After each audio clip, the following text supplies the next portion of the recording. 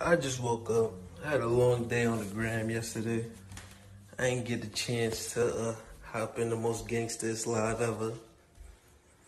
But everybody tagged me in it, so here go right here. Let's see, let's see what he said. You see your son yet? Da, da, da. Nah, I ain't heard from six nine. We're connecting with people.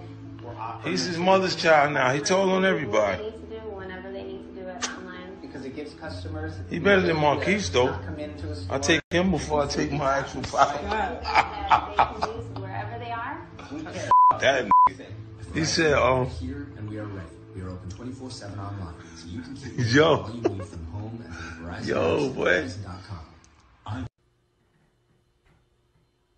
Did he just say he would claim a rat?